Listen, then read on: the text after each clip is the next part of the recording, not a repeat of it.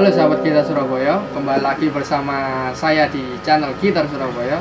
Uh, kali ini kita mau review gitar lele yang model Yamaha GL1 yang sudah elektrik, sudah equalizer. Sudah ada equalizernya EKI 7545R. Sudah ada kabel jacknya juga ini. Langsung aja Jangan lupa klik subscribe di bawah ini dan juga aktifkan lonceng notifikasi untuk update video-video selanjutnya.